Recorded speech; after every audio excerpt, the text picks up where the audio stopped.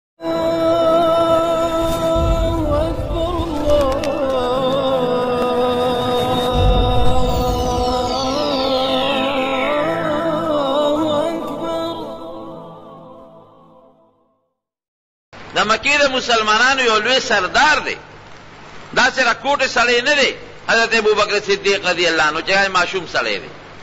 نه دی یو قوم مشر دی دی یو قبیله مشر دی خلکو به ډېر لوی قدر کو د عزت خاوند دی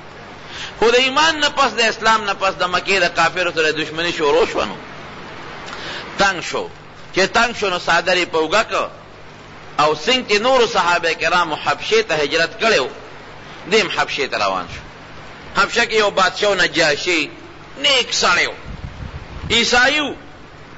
او بیا په نبی علیه السلام باندې غائبانه ایمان هم راوړو، مسلمان هم شو، حالانکه پیغمبر علیه السلام سره ملاقات نو شوی، لیدی نو،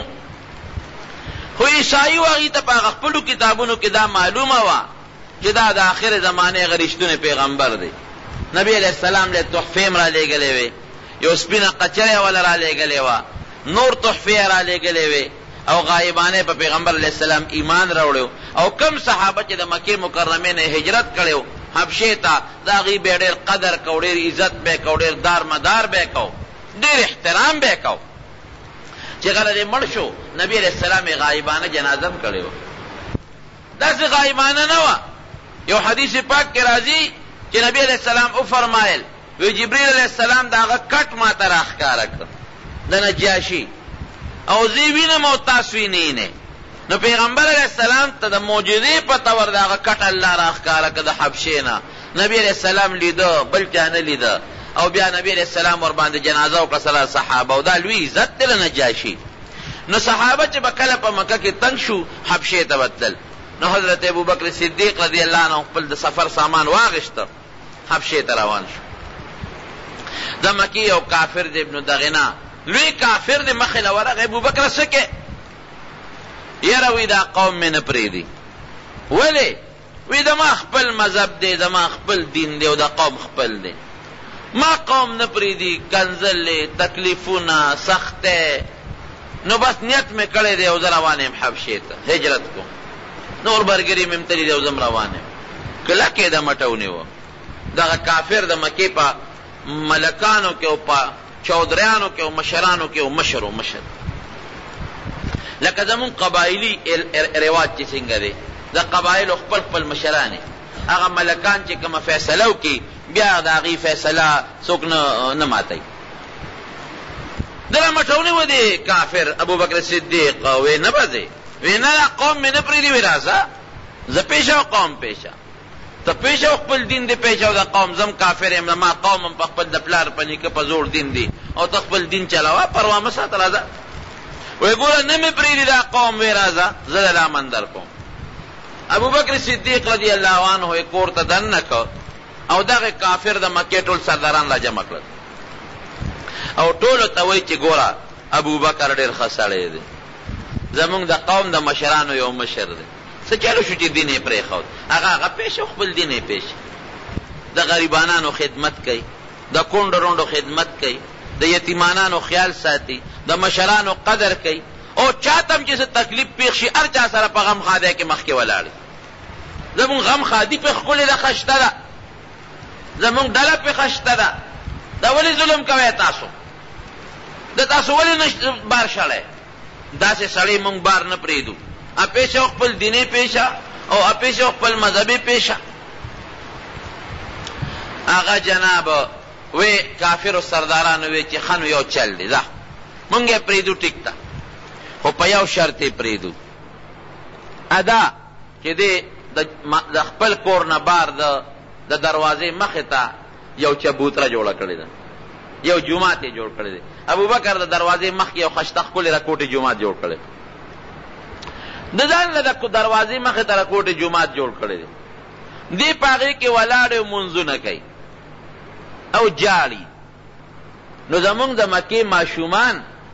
او ښځې پرې راجمع شي چې په لاره تېرېږي ده ته راجمع شي د جومات دې خوله کې ورته ولاړې د جومات دیوال سره ورته ولاړې او چې دی مونځ کوي نو ده به ژړل په مانځه کې ډېر زیات به ژړل نو مونږ یریږو چې هسې نه زمونږ دا بچي او زمونږ دا ښځې د دې ابوبکر د مونځ او د ژړا د وجې نه چې ته مسلمانان نه شي په دې یریږو نو ته مهرباني وکړه ابوبکر ته ووایه چې دا خپل مونځ په کور کې دننه کوي دا خپل عبادت په کور کې دننه کوي بار به نه کوي نو مونږ ورته سم نه وایو خو دا شرط به پې لګی د کور نه بار به دې مونځ نه کوي دغه کافر راغی ابوبکر ته یې وویل چې تا له ما امان درکړ هېڅ څوک به درته غږ نه کوي زما په امان کې وې ما اعلان وکړو په ټوله مکه کې خو تا باندې یو شرط لګوم ته مهرباني وکړه او دا خپل مونځ او دا عبادت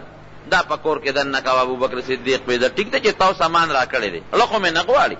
خو چې تا امان راکړی دی او تا راوستې منو تا نه ملامته کوم ډېره ښه ده، زه به د عبادت په خپل کور کې دننه کوم. څه موده تېره شوه، چې تېره شوه زړه یې بیا صبر نه شو، راووت د دروازې نه بهر او ځان له چې هغه رکوټې جومات کې چبوتره څه جومات و، داسې خو نه و لکه زموږ د جوماتونو غوندې، بس د مانځه یو ځان له یو ځای جوړ کړی و د کور مخې ته، هغې ته بیا راووت او په مانځه به ودرېده او تلاوت به یې کاوه، داسې به یې ژړل سلګۍ به یې والې چې دا اوښکې به یې په دې مخ او په دې ږیره راروانې وې.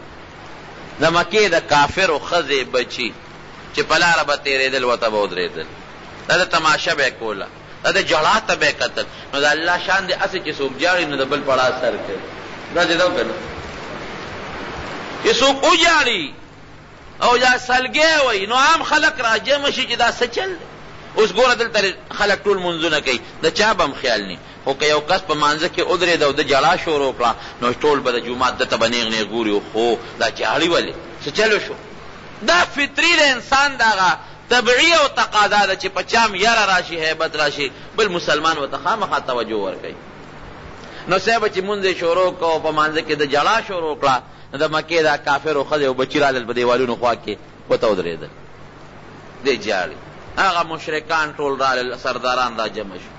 او دغه ابن دغه نه دغه کافر چا چې امان ورکړو هغه را غوښته وی ګوره مونږ خو ستا په وجه ابوبکر له امان ورک غږ ورته بالکل نه کو خو مونږ په شرط لګولې دي چې ته به د خپل مونځ او د عبادت په کور کې دننه کې هغه خو بیا د هغه شرط خلاف ورزي وکړه عبادت یې بار شروع کړ او جالی الله ته سلګی وایي، لمونځ کې ژاړي، موږ یریږو چې هسې نه زموږ بچي او زموږ ښځې د ده د دې لمونځ او د ژړا د وجې نه چېرته دین بدل نه کړي، مسلمانان نه شي.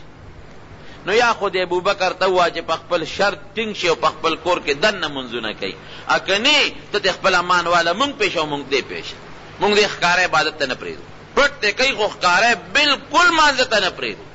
هغه وخت کې دغه عبادت او بس منځ نه پریدو ښکارا مانځه ته پټ بخبل منځ کوي بالکل او کستا په امان کې دینو کو تاسو غږ کو نو خلک به بیا وایي چې د فلان کی امان یې مات کو نو ستا امان نه ماتو چا به ورته وایي